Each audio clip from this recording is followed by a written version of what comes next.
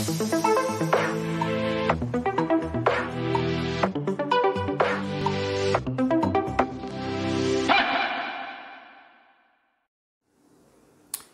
to everyone. This is Professor Masood Fuzail. Today we are going to discuss life cycle of filarial worm. Uh, in this video we are going to discuss about Wuchereria. Wuchereria species. Wuchereria is uh, uh, specialized uh, worms which belongs to phylum Nematoda and these they are usually known as filarial worms. Filarial mean thread.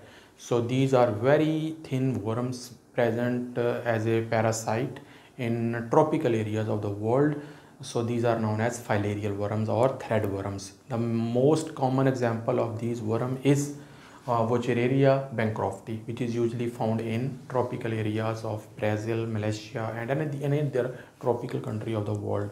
Tropical countries are usually very hot countries with lot of rain so these parasites are very common over there and uh, almost every year 250,000 people are infected by these types of parasites. So let's uh, discuss this uh, life cycle in detail. So first of all, uh, we will help we will try to understand uh, this topic with the help of an example. A person who is visiting a tropical country, country like Brazil, uh, when he arrives in a country tropical country he stays there for a couple of weeks and after staying couple of weeks he uh, suffered in a kind of a very rare kind of a condition in this condition his leg has become swollen like as you see in this diagram he went to a local doctor for proper medical checkup and doctor let him know that you have been suffered from a disease known as elephantiasis.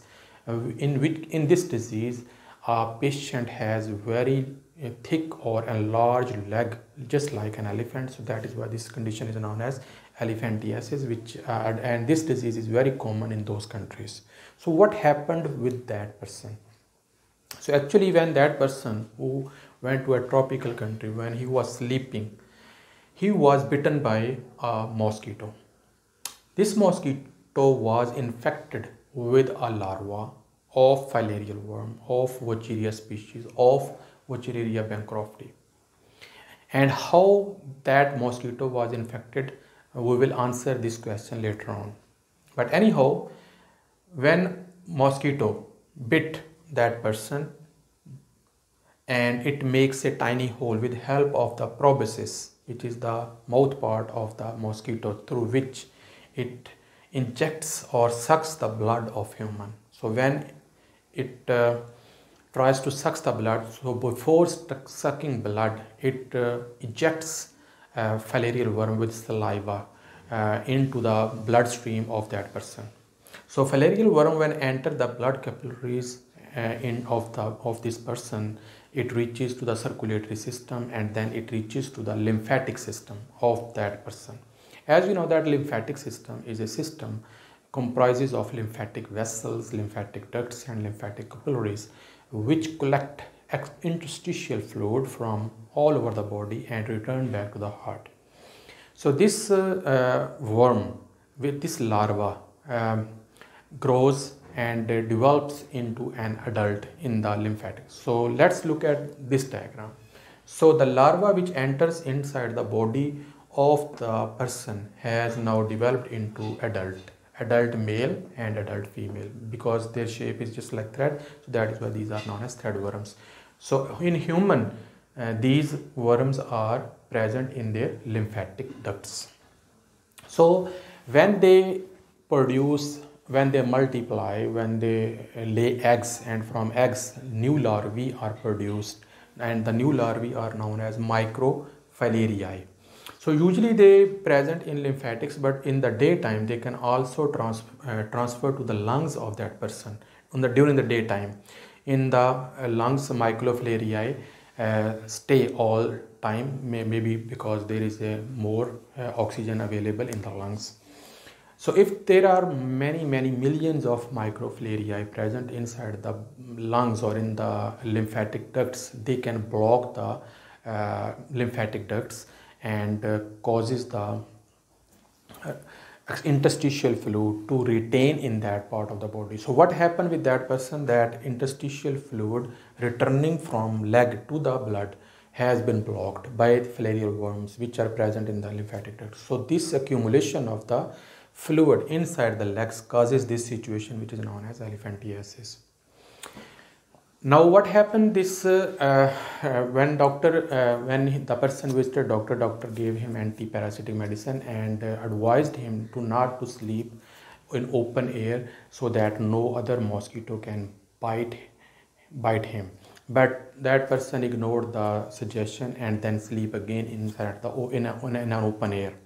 So when he was sleeping during the night time these microfilariae worms move towards the peripheral circulation, which is the circulation on the periphery of the body.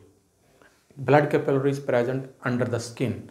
So when these most, uh, when these filarial worm reaches the capillaries of the skin, again once again another mosquito which uh, was not infected by microfilaria worm comes to suck the blood of this person for its uh, nutrition and with the blood it sucks the microfilaria worm.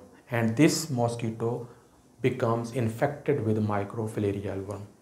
So during night because mosquito are nocturnal and usually attack on the human being sleeping at night so this uh, uh, larva is very clever and it comes into the peripheral circulation at the night time. So mosquito injects microfilariae and from uh, uh blood microfilaria worm reaches its, its thoracic muscles.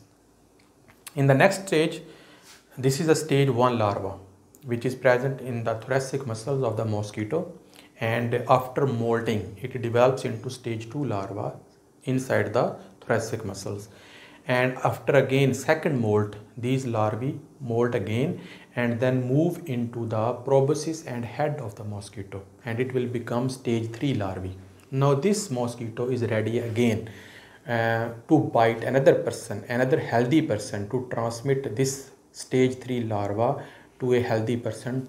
And when this mosquito will bite another healthy person it will transmit stage 3 larvae into the healthy person and that person will also become infected. So in this way uh, mosquito mosquitoes are paras uh, vectors uh, which transmit uh, this parasite from one person to another person. So to, to avoid this kind of situation and disease, we must have avoid mosquitoes. So we have to uh, be careful that no mosquito can bite you.